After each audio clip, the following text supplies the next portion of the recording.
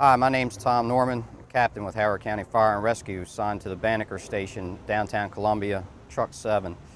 It's a new aerial device that we've purchased for the citizens of Howard County. Uh, even though this type of truck has been in service uh, for many years, it's the first one that Howard County has placed in service. Several things that make this truck unique. One of the unique features of this truck is that it's much like a tractor trailer and that it has a fifth wheel that this truck pivots on which allows better access. It takes two people to operate this vehicle. We have a driver for the cab and we also have a driver for the rear of the truck which allows him to turn the wheels at the rear of the truck, allows us to maneuver better into tighter spaces.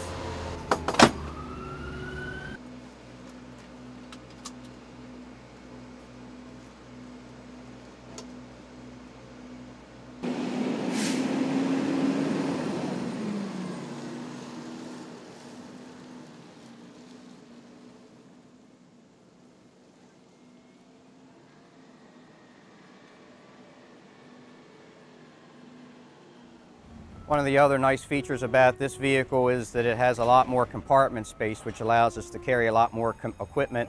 Also allows us to space the equipment out so that we don't have to take several things out to get to the one thing that we need. It's also very low, pro low profile to the ground uh, which makes it easy for people to access the equipment off of it. Uh, it makes it easier to access the ladders uh, off the side of the vehicle as well.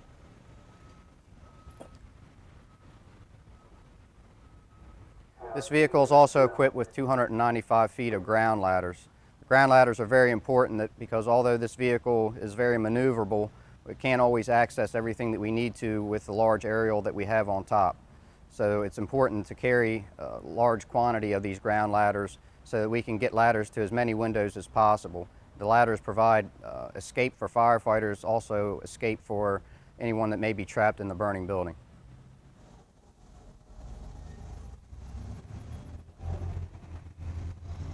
This ladder truck's also equipped with a 100-foot aerial, as you can see on top of the truck. This aerial ladder is made out of steel, which makes it much faster to deploy. The steel ladders can withstand a lot more torque uh, than the aluminum style ladders, therefore they can put bigger motors on it to make the ladder uh, easier and faster to deploy.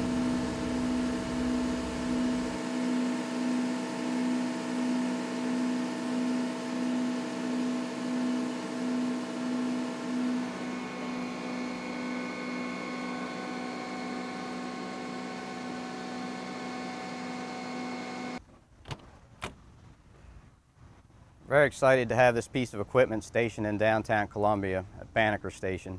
We anticipate this vehicle will provide many years of service to this community uh, and it'll definitely help us fulfill our mission statement to educate, protect, and serve.